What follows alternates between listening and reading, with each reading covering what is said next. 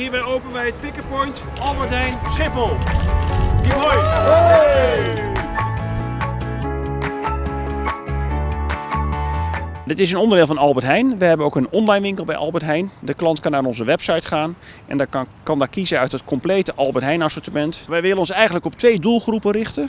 Uh, ze zijn allebei even belangrijk. De mensen die op of rondom Schiphol werken. En daarnaast zijn er natuurlijk 50 miljoen uh, passagiers die Schiphol aandoen. We zijn natuurlijk een locatie met ongelooflijk veel mensen, reizigers, mensen die hier werken, et cetera.